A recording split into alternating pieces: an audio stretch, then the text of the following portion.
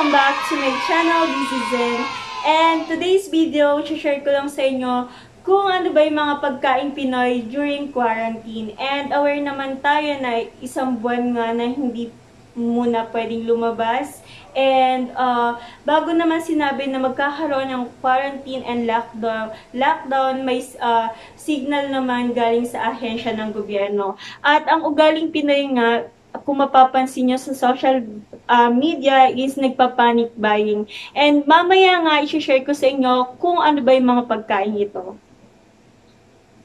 And for self-quarantine shopping list, ayan, ang nangunguna talaga ay ang pagkain.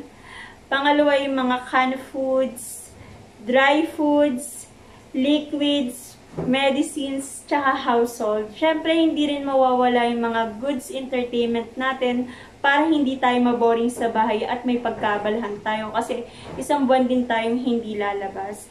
And ngayon nga, may pinatupad na ordinance na sa bawat bahay, isang tao ang pwedeng lumabas para bumili ng pagkain or pangangailangan or gamit sa bahay. Pwedeng lumabas pero kailangan may pass quarantine. Kasi yung iba, yung ibang lugar may mga checkpoint, so kailangan mong i-present yon and kailangan nakapangalan sa'yo.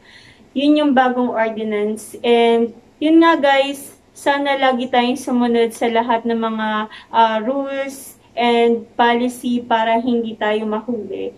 And ingat parate, ayan sa lahat ng mga lumalabas dyan ng bahay, huwag kakalimutang magdala ng alcohol and then maglagay ng mask. And syempre kung mapapansin naman natin, uh, konti na lang din yung mga bukas na establishment and yung sigurado lang talaga na alam natin na hindi magsasarado is yung mga groceries tulad sa SM, supermarket. Yun talaga yung may assurance tayo na hindi talaga sila magsasarado kasi uh, pangangailangan yon basic needs natin yon And then, yung mga gas station, uh, sa bangko, half day na lang guys yung operation hours nila. And then, mercury drugs, ayan, yung mga hindi talaga magsasarado. And syempre, hindi ako magsasawang magpasalamat sa lahat ng mga medical frontliners. Ayan, sa lahat po ng mga doctors, nurses, pharmacists, uh, maraming salamat po. And of course, sa lahat ng mga sundalo and mga kapulisan, ayan, maraming maraming salamat po. And ingat po kayo parate. And syempre, sa lahat po ng lalabas, uh, munting paalala lang po to na lagi po tayo magdala ng alcohol and then maglagay ng mask. And dito ko na po tatapusin ang video ko. And don't forget to like, share, comment, and subscribe.